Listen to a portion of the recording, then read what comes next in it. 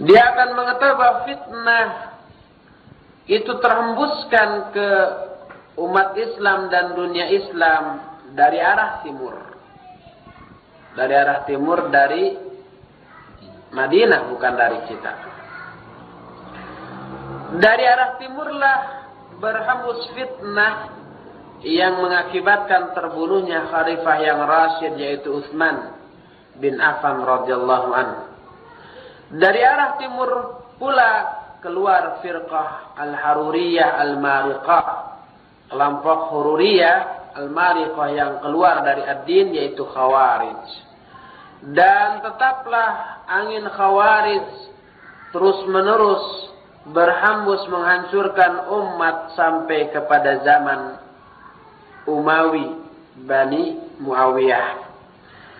Maka dengan Khawarij ini pula lah terjadinya revolusi Zhang. Saya nggak tahu ini menurut sejarah revolusi Zhang itu bagaimana terjadinya. Itu terjadi pada tahun 255 Hijriah di Basrah. Juga pada tahun 278 muncullah gerakan Quramatah Barang siapa yang menelaah apa yang terjadi revolusi Zah dan Kuramata terhadap umat Islam, dia tidak akan melupakan kengerian yang bertumpuk-tumpuk di sana pada waktu peristiwa itu. Wa minasyarq habbat riyahu tatar tatar wa sayabqal amru kadzalik ila an ta'tiya riyahud riya riyatud dajjal min khurasan kama akhbara rasul sallallahu dari arah timur pula berhembuslah angin tartar. Iya dan tetaplah urusan itu seperti itu akan berlangsung terus sampai datang tiupan angin dajjal dari arah Khurasan sebagaimana yang dikabarkanlah Rasul Sallallahu Alaihi Wasallam. Jadi ternyata semua fitnah itu munculnya atau bersumber dari daerah timur Madinah. ولا تعارض هذه الأحاديث التي تحدد البعورة التي تنبعث منها الفتن على الأمة الإسلامية حديث الرسول صلى الله عليه وسلم الذي يرويه عنه أسامة بن زيد رضي الله عنهما قال أشرف النبي صلى الله عليه وسلم على أطم من أطم المدينة. فقال هل ترون ما أرى؟ قالوا لا. قال فإني لأرى الفتن تقع خلال بيوتكم كوقع القطر. رواه البخاري.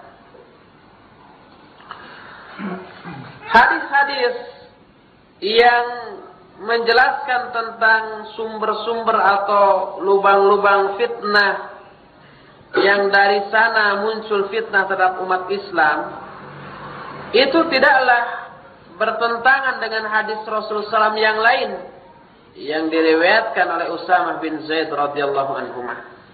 Kata Usama, suatu saat Nabi SAW mengintai di tempat-tempat pengintaian di Madinah.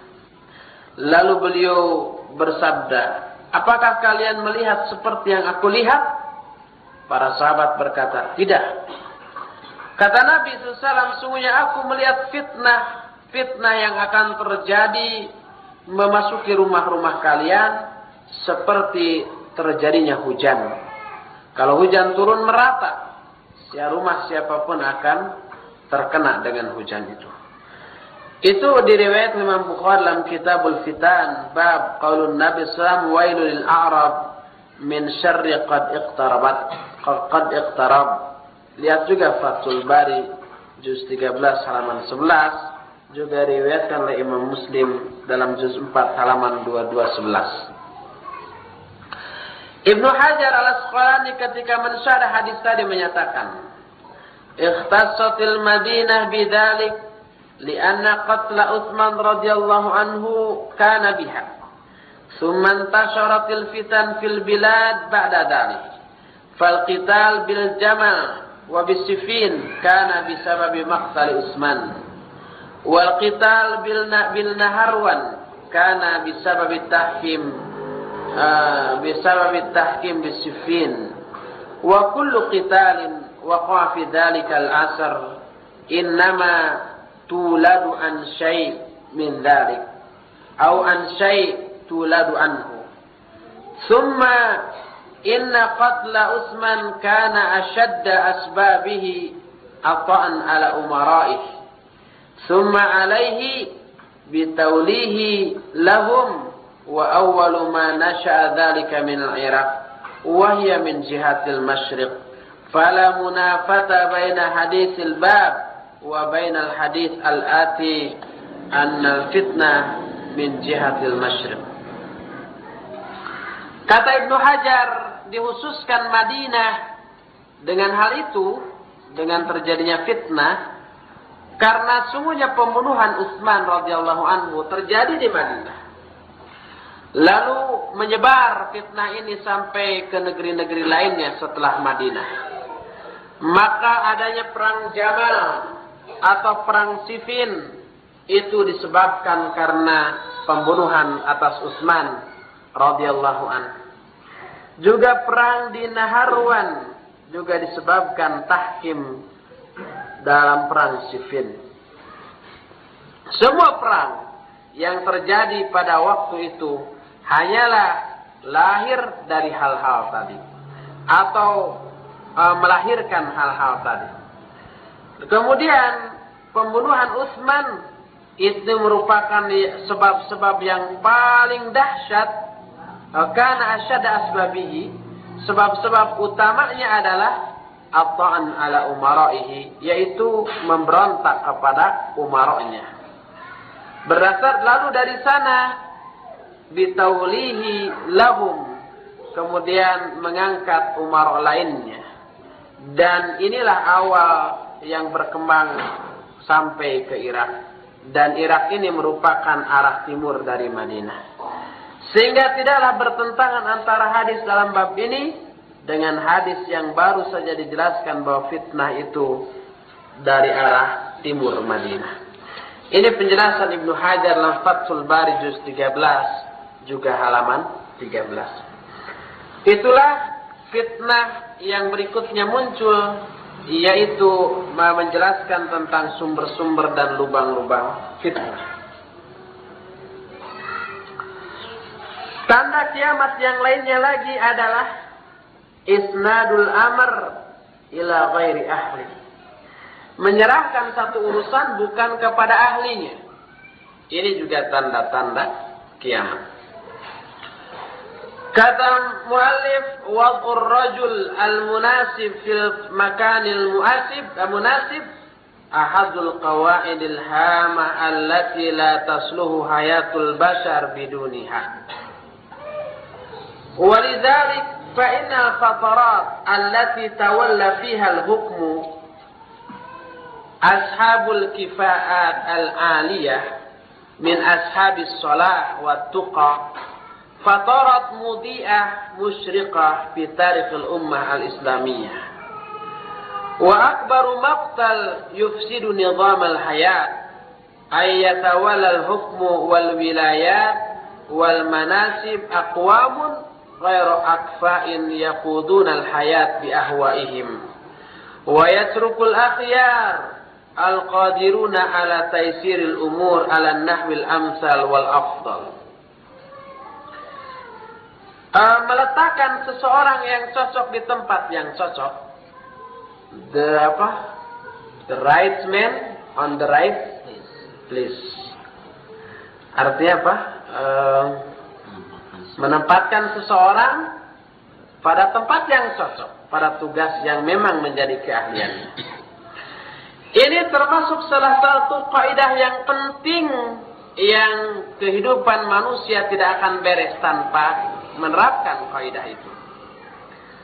Oleh karena itu masa-masa yang pada masa itu ditempatkan orang-orang yang berkemampuan tinggi, mempunyai kemampuan dari kalangan orang-orang yang soleh dan takwa merupakan masa-masa yang cemerlang, mudiah musyrikah Mudhi'ah itu yang terterangi, musyrikah ya yang cemerlang juga. Ini terjadi sepanjang sejarah Islam. Dan sebesar-besar pembunuhan yang bisa merusak aturan kehidupan adalah kalau hukum, kekuasaan itu diserahkan kepada kaum atau orang-orang yang tidak berkemampuan yang memimpin kehidupan ini dengan hawa nafsunya yang membiarkan orang-orang baik yang berkemampuan untuk memimpin urusan-urusan seabdol mungkin dan seberes mungkin maka kata mualif waqad akhbara Rasul sallam anna min asyrati sa'ah ayu sodal amru ila man la yastahiquhu. Nabi sesudah mengabarkan bahwa di antara tanda-tanda kiamat, kalau satu urusan sudah diserahkan kepada orang yang bukan haknya. Di dalam Sahih Bukhari dari Abu Hurairah radhiyallahu an dia berkata, "Bainama Rasulullah sallallahu alaihi wasallam fi majlisin yuhadditsul qaum, Idja'ahu a'rabi, faqal, mata sa'ah?" فمضى رسول صلى الله عليه وسلم في حديثه. فقال بعض القوم سمع ما قاله فكره ما قاله. وقال بعضهم بل لم يسمع. حتى إذا قضى حديثه قال أين السائل؟ عن الساعة؟ قال ها أنا ذا يا رسول الله. قال إذا ضيعت الأمانة فانتظر الساعة. قال Wa kaifa idha'atuha? Qala wusidal amru ila ghairi ahli fantadiris sa'ah. Anak-anak ribut di belakang tuh harus ada satpam. Usir.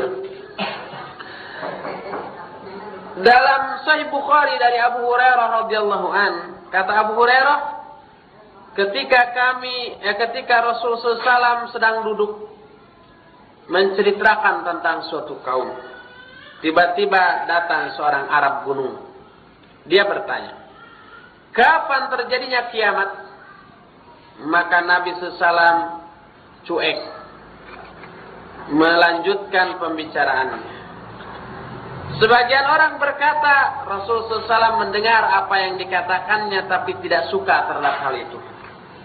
Sebagian lain berkata, beliau mendengar. Sampai setelah Rasul SAW beres dalam pembicaraannya, beliau berkata, mana orang yang bertanya tentang hari kiamat tadi? Maka orang Arab tadi berkata, ini aku wahai Rasulullah. Lalu menjawablah Nabi SAW, apabila amanat telah disia-siakan maka tunggulah hari kiamat atau saat kehancurannya. Ditanya oleh para sahabat bagaimana disia-siakannya amanat? Maka Nabi SAW menjawab apabila satu urusan diserahkan bukan kepada ahlinya, maka tunggulah saat kehancurannya. Ini diterangkan di dalam Jami'ul Usul Ibnu Asir juz 10 halaman 396 hadisnya nomor 7904 Imam At-Tahawi menjelaskan dalam Muskilul Asar sebuah hadis dari Rasul sallallahu alaihi wasallam kata beliau yushiku ay yaghliba 'ala dunya ay yughlaba 'ala dunya laqun ibu laqin wa afdalun nas mu'minun baina karimin. Kata Rasul SAW hampir-hampir dunia ini dikuasa oleh lakun. Lakun ini para pengkhianat. Lakun ibnu lakin. Pengkhianat putra pengkhianat. Artinya pengkhianat itu orang yang tidak menunaikan amanah. Maka seafdol-afdol manusia adalah orang mukmin di antara orang-orang yang karim. Ini bisa dilihat dalam silsilah al-hadis as-sahihah juz 4 halaman 9 hadisnya nomor 1505 dengan sanad yang sanad hadis ini marfu tetapi dhaif tetapi dia mempunyai syawahid atau jalan-jalan lain yang menguatkannya sehingga menjadi sahih. Kata muallif wa man nadhara fi tarikh al-ummah al-islamiyyah alima anna hadha al-marad alladhi ashara ilayhi Rasul sallallahu huwa ahadul balaya al-kibar allati asabat al-muslimin isabatin kabirah. Laqad tawalla amru hadhihi al-ummah rijalun mustabiddun la yatiquna sima'a ra'yi mukhalifin lima yarawna.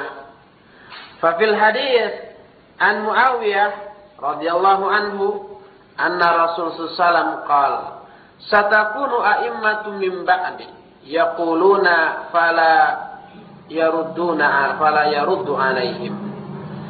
Yataqahamuna finnar kama taqahamal qirdah rawahu Tabrani fil Kabir wal Awsat wa Abu Ya'la. Siapa yang meneliti memandang kepada tarikh atau sejarah umat Islam dia akan tahu bahwa penyakit ini penyakit apa sih? Khianat terhadap amanah yang diisyaratkan oleh Rasul Sallam merupakan salah satu bencana besar yang menimpa umat Islam yang menimpa beberapa kali. Bahwa kan umat urusan umat ini pernah dikuasai oleh rijalun mustabidun. Oleh tokoh-tokoh yang mustabid. Mustabid itu yang yang diktator. Yang tidak mau menerima saran. Pokoknya kata saya begitu-begitu. Tidak boleh begini. Kata saya A, sudah A. Jangan ada B. Itu mustabid. Apa namanya? Kekeh peteke. Yang ya diktator ya. Otoriter. Yang dia tidak mau mendengar pendapat orang lain yang berbeda dengan pendapatnya. Nah itu, itu disebut mustabidun. Di dalam sebuah hadis dari Muawiyah, Rasul SAW menyatakan, akan muncul pemimpin-pemimpin setelahku. Dia berkata, tetapi la yuraddu alaim. Perkataan itu tidak bisa, tidak boleh dibantah. Dia menjerumuskan diri ke dalam neraka sebagaimana terjerumusnya Al-Qirdah. Al-Qirdah ya. Hadis ini dilihat Imam Tabrani dalam Al-Kabir dan Al-Awsat dan juga Abu Ya'la. Silsilah ala hadis sahihah lihat juz 4 halaman 398 hadisnya nomor 1790. Kira monyet. Wa ba'du haula'il hukam tusgiluhum syahawat wal mata an riayati umuril muslimin. Wa ba'duhum la ya'riful haq fa idza bihi yahmilu an-nas ala ma la ya'rifun wa yanshuru bainahumul bid'ah wal munkarat. Kama fil hadis alladhi yarwihi Ubadah bin As-Samit an Rasul sallallahu alaihi wasallam satakunu umara tastusghiluhum asya yuakhiruna as-salah an waqtiha faj'alu salatakum ma'hum tatawwan rawahu Abu Daud wa Ahmad wa Ibnu Majah bi isnadin sahih Sebagian hukam, sebagian pengusaha itu disibukkan oleh syahwat dan kesenangan terhadap dunia sehingga melalaikan untuk mengurus urusan kaum muslimin. Sebagian mereka lagi tidak mengetahui kebenaran.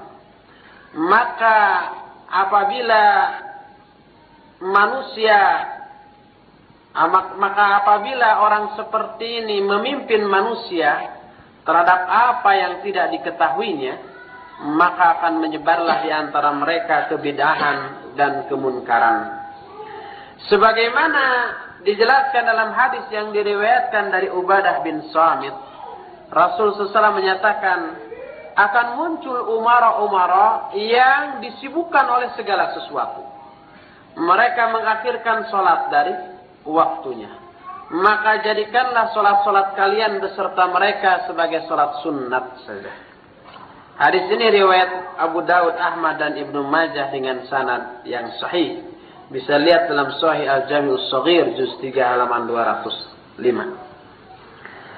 Dalam hadis lain dari Ummu Salamah diriwayatkan Imam Muslim dan Abu Daud, Rasul SAW menyatakan, "Satakunu umara fata'rifuna wa tunkirun.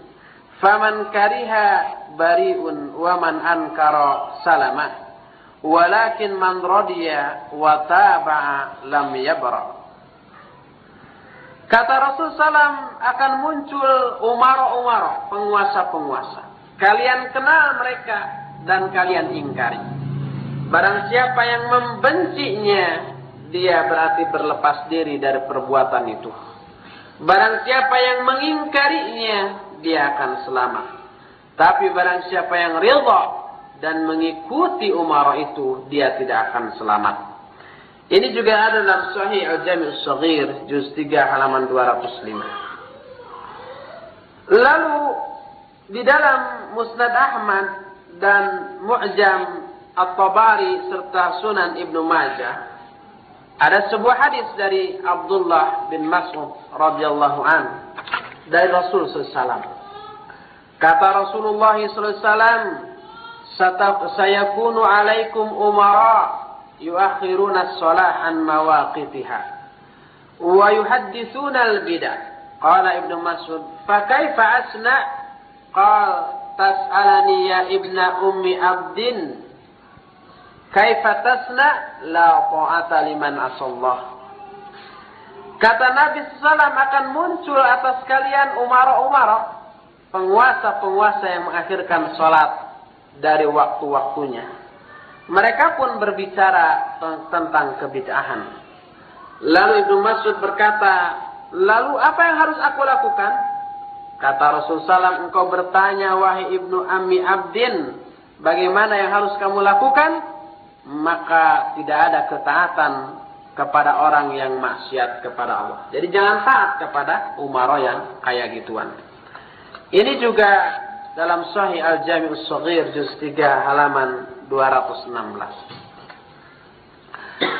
Kata muallif, wa nulahidu anna Rasul sallallahu alaihi wasallam lam ya'dan bil khuruj ala usatil hukam lima yatarattabu ala al khuruj alaihi min al fitan wa safkid dima' hada idza kanu akhidina bi syariatillah ala wajhil umum yang harus kita perhatikan di sini bahwa Rasul SAW tidak mengizinkan keluar dari ketaatan terhadap pemerintah yang maksiat. Ya, nggak boleh keluar. Karena apa? Karena hal itu akan menyebabkan timbulnya fitnah yang besar dan mengalirnya darah, timbulnya pembunuhan. Ini apabila hukamnya atau penguasanya itu mengambil menerapkan syariat Allah secara umum. Seperti di negeri-negeri Timur Tengah. Bagaimanapun hukum Islam jalan. Tidak boleh keluar dari ketaatan kepada mereka. Harus taat dalam hal-hal yang tidak maksiat. Karena kalau keluar, fitnahnya jauh lebih besar. Dalam Sunan An-Nasai dan Musnad Ibnu Hibban dengan sanad yang sahih dari Arfajah dia menyatakan satakunu ba'di hanat wa hanat faman ra'aitumuh faraqal jamaah yuridu ay yufarriqa amra am amra ummati Muhammadin kaina man kana faqtuluh fa inna yadallahi ma'al jamaah wa inna syaitan ma'a man faraqal jamaah yarqab Kata Nabi SAW akan muncul setelahku hanat wa hanat. Hanat itu artinya memang hukumah-hukumah yang maksiat.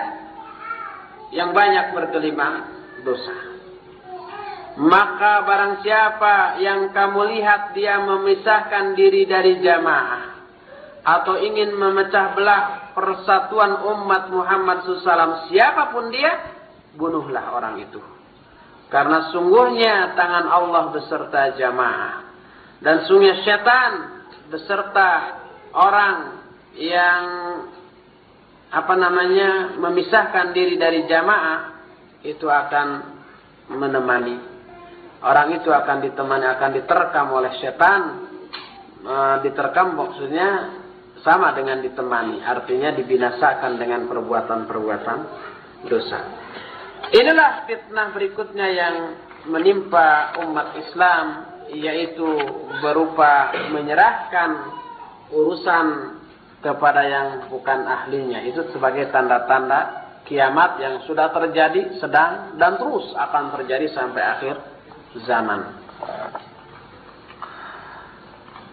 Pembahasan berikutnya adalah fasadul muslimin. Salah satu tanda kiamat adalah rusaknya kaum muslimin. Innama yatahaqqaqu lil ummah ar-riqa wa wasa wasawa'ud was wa sa'uddud ah, sa'uddud بمقدار ما يكون فيها من من أفراد الصالحين. يتمثلون في أنفسهم القيم الفضيلة فاضلة والأخلاق الحميدة. ساعين إلى إقامة العدل في عالم الواقع وتقويم المعوج وإصلاح الفاسد. وهؤلاء هم الذين حملوا الأمانة wa haula humul ladzina hamalul amanah allati abati samawati wal ard hamlaha wa ashfaqna min dhalik inna aradna al amanata ala samawati wal ard wal jibal fa abaina an yahmilnaha wa ashfaqna minha wa hamalaha al insan innahu kana zaluman jahula kemajuan dan kemuliaan yang dicapai oleh umat Islam ini itu bergantung kepada pribadi-pribadi solihin yang ada di dalamnya yang merupakan apa tergambar dalam jiwa mereka yang teguh dan utama juga terpancar dari mereka akhlak yang mulia. Mereka selalu berusaha untuk menegakkan keadilan di alam nyata ini meluruskan setiap yang bengkok dan membereskan setiap yang rusak.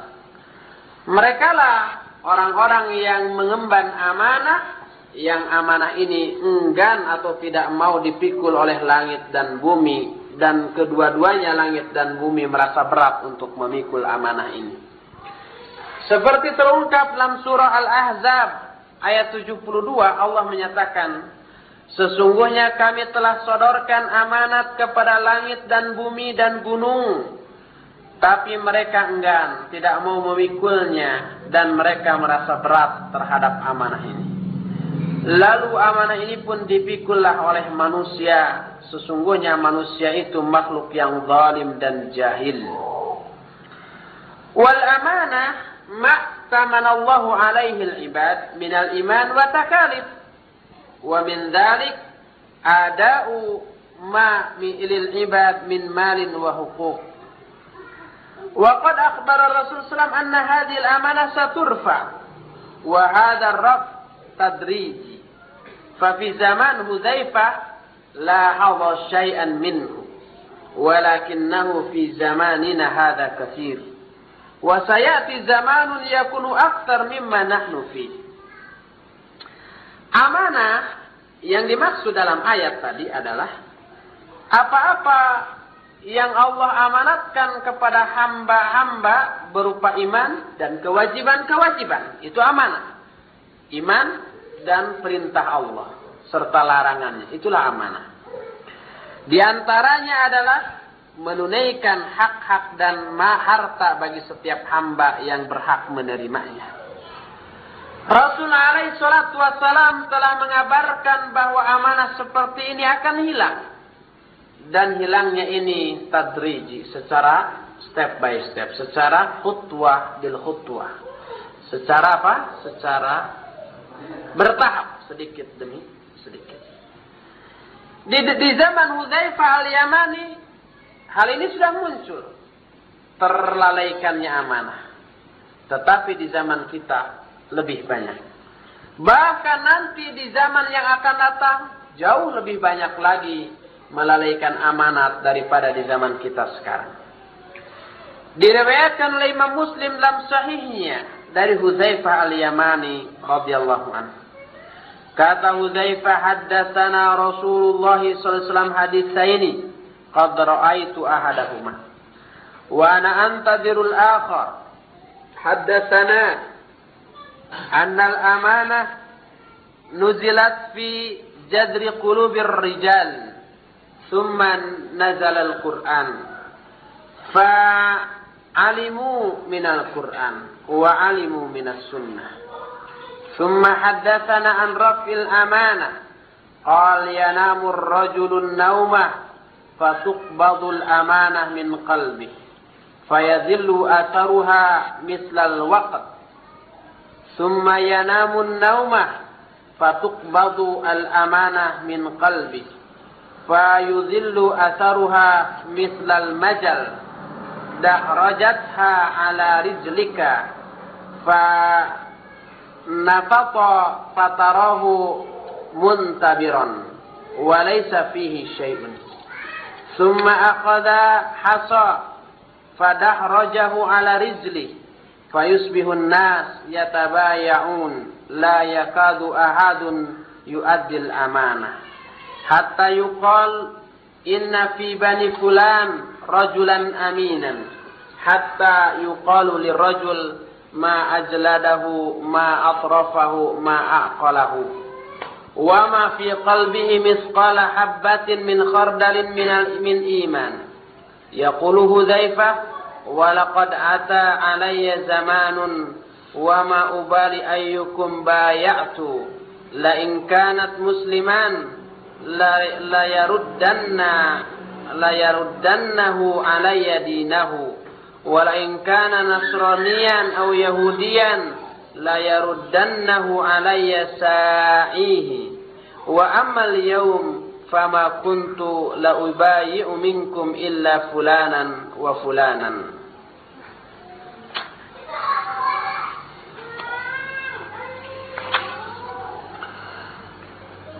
Kata Hudzaifah al-Yamani, Rasul Salam telah membicarakan kepada kami tentang dua hadis.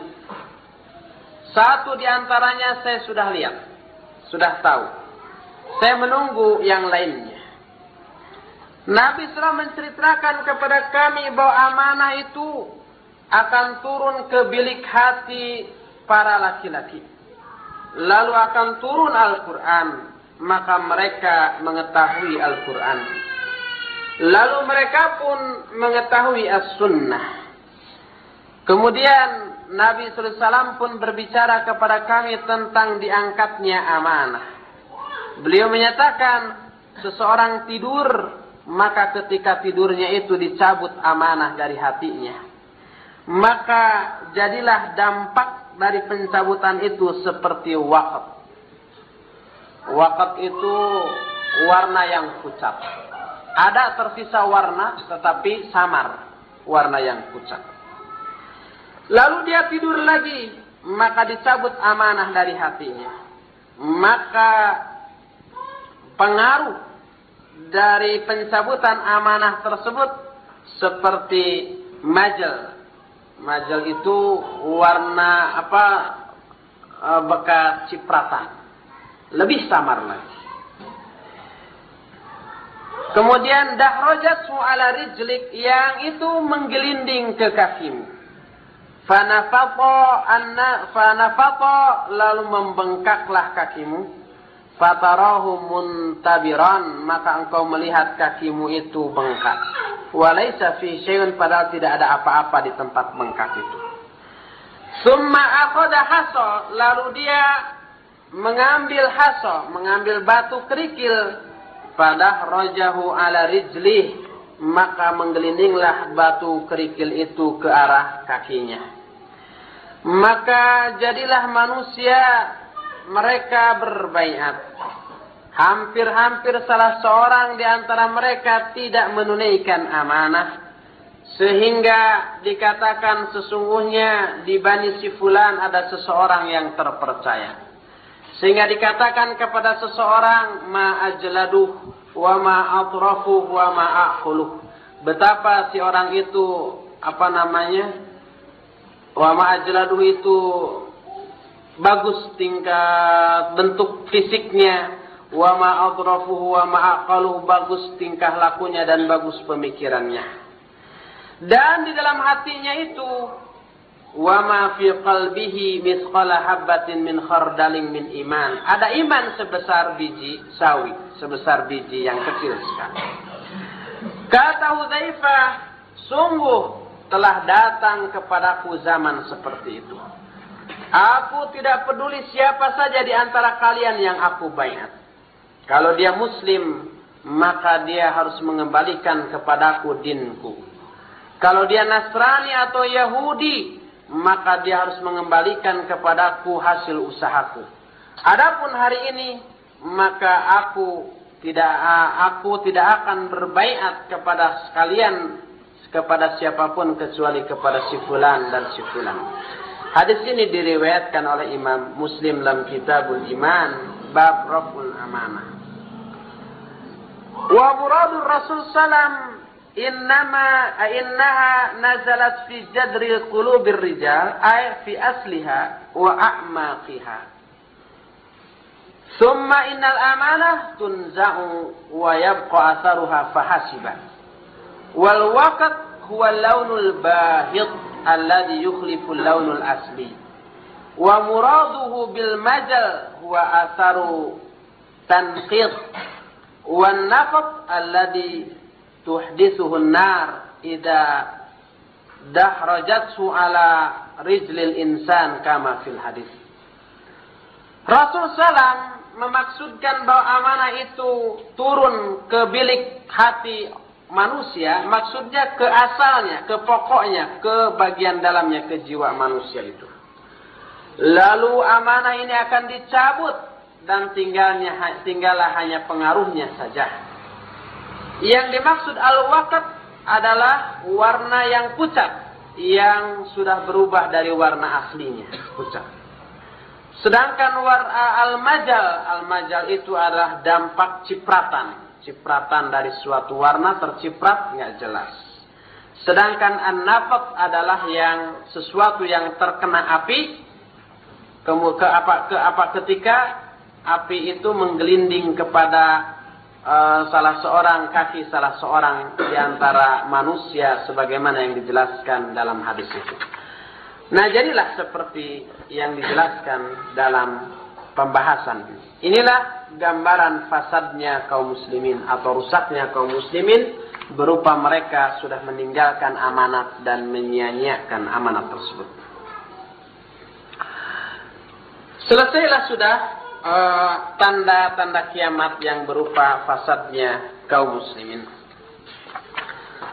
Lalu berikutnya adalah wiladatul ammati rabbataha wa tatawuli wa tatawulul huffat al-urat ri'atus syah bunyan. Tanda berikutnya adalah kalau seorang amat, seorang hamba sahaya sudah melahirkan juragannya, sudah melahirkan apa? Tuan. Tuannya atau majikannya. Juga orang-orang hufat dan urat Ufat itu orang yang bertelanjang kaki. Urat itu telanjang badan. Sedangkan ri'atus syah itu para penggembala. Kalau orang-orang yang tidak bersendal, tidak berpakaian dan kerjaannya menggembala, sudah berlomba-lomba dalam membangun. Ini juga salah satu tanda-tanda kiamat. Diriwayatkan oleh Imam Muslim dalam sahihnya dari Umar bin Khattab radhiyallahu an ketika datang Jibril kepada Rasul salam dalam bentuk seseorang yang memakai pakaian yang putih dan bersih. Kemudian rambutnya hitam kelap. Orang itu bertanya kepada Rasul salam tentang Islam, iman dan ihsan lalu dijawab oleh Rasul salam. Lalu orang itu bertanya tentang hari kiamat. Kata Rasul Salam, mal mas'ulu anha bi'a'lama minas. Orang yang ditanya tidak lebih tahu daripada yang bertanya. Maka orang itu berkata lagi, Fa'akhbirni an amaratiha. Kalau begitu terangkan kepadaku tentang tanda-tandanya. Tentang tanda kiamat. Makanya Nabi SAW menjawab, Antalidal ammatu rabbataha wa antaral huffatal urata ri'a asyah yatatawaluna fil bunyan. Tanda-tanda kiamat itu adalah apabila seorang hamba melahirkan tuannya. Dan engkau melihat orang hufat bertelanjang kaki, bertelanjang dada, dan para penggembala binatang, penggembala ternak sudah berlomba-lomba dalam membangun. Hadis ini ada dalam Sahih Muslim. Lihat Jamiul Ulum wal Hikam halaman 21. Abdullah bin Abbas radhiyallahu anhuma menerangkan tentang jawaban Rasul Sallam ketika ditanya tentang hari kiamat. Kata Nabi Sallam, "Idza ra'aital ammatu idza ra'aital ammata waladat rabbataha aw rabbaha wa ra'aita ashaba ashaba asy-sya'i yatatawaluna fil bunyan" wa ra'aital huffata al-jiya'al alata kanu ru'usun nas kanu ru'usan nas fadzalika min ma'alimis sa'ah wa asyratiha. Kata Nabi SAW, bila engkau melihat seorang hamba melahirkan tuannya, baik tuannya ini laki-laki atau perempuan, dan engkau melihat para penggembala berlomba-lomba dalam membangun, dan kau melihat orang-orang yang telanjang kaki, yang sering kelaparan dan papa, mereka menjadi pemimpin-pemimpin manusia. Maka itu sebagai rambu-rambu atau tanda-tanda hari kiamat. Ada yang bertanya, Ya Rasulullah, waman ashabus syah wal hufa wal jia al-alah? Qala al-Arab. Wahai Rasulullah, siapa para pengembala, orang-orang yang telanjang kaki, yang sering kelaparan dan papa itu, yang miskin itu? Maka Nabi SAW menjawab adalah orang Arab Badui, Arab gunung. Ini dikeluarkan Imam Ahmad dalam musnadnya, kata Syekh Al-Albani, Hafidahullah, hada isnadun la ba'sa bihi, fi syawahid. Hadis ini sanadnya tidak apa-apa karena banyaknya syawahid Makanya Syekh Al-Albani memasukkan ini ke dalam silsilah al-hadis as-sahihah. Kata Ibnu Rajab Al-Hambali rahimahullahu taala ketika mentaklik mengomentari hadis ini, beliau menyatakan Madmunu ma dzakara ma dzukira min asyrati sa'ah fi hadzal hadis yarji'u illa ila anna al-umura tusadu ila ghairi ahliha Kama qala Nabi sallallahu liman sa'ala sa'alahu anis sa'ah. Idza wusida al-amru ila ghairi ahlihi fantadhir as-sa'ah. Fa idza sara al-huffat al-urat ri'a asy-syah wa hum ahlul jahl wal jufa ru'usan nas wa ashabas sarwah wal amwal hatta yatatawalu fil bunyan fa innahu yufsidu bidzalika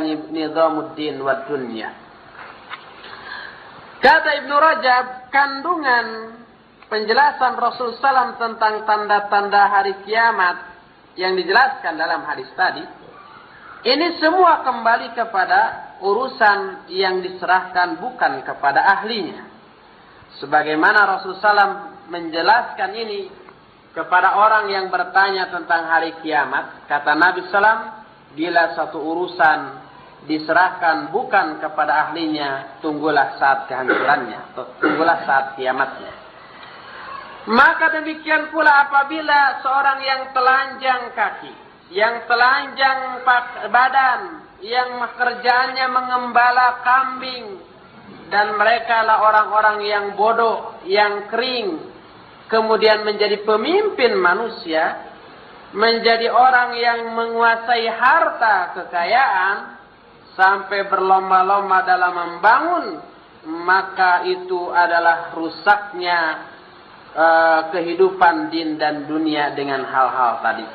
Ini bisa dilihat dalam Jami'ul Ulum wal Hikam Sunan Ibnu Rajab halaman 39 mungkin tidak memperhitungkan dampak lingkungan dengan berlomba-lomba membangun. Karena mereka orang bodoh. Yang penting saya harus lebih megah dari yang lain kan begitu. Dampak lingkungan terhadap kadar air dalam tanah, terhadap ah macam-macam, terhadap tata kota dan seterusnya juga. Dan yang dimaksud dengan sabda Rasul SAW yang menyatakan antalidal um ammatu rabbataha seorang hamba wanita melahirkan tuannya maksudnya adalah sayyidatuha wa malikatuha maksudnya bahwa si anak yang dilahirkannya itu menjadi tuannya atau menjadi pemilik dirinya. Berkata para ulama, kata mereka huwa ikhbaru an kasrati sarari wa auladahunna fa in waladaha min sayyidiha bimanzilati sayyidiha لأن مال الإنسان صائر إلى ولده وقد يتصرف فيه في الحال تصرف المالكين. إما بتصريح أبيه له بالإذن وإما بما يعلمه بقرينة الحال أو عرف الاستعمال. وقيل معناه أن أن يلدنا الملوك فتكون أمه من جملة رعيته وهو سيدها وسيد غيرها من رعيته. وكل هذا وقع. فقد كثر تسرى الأحرار من الإماء بملك اليمين ومن المعلوم شرعا أن الأبناء الذين يأتون من سرار min sarari yakununa ahrar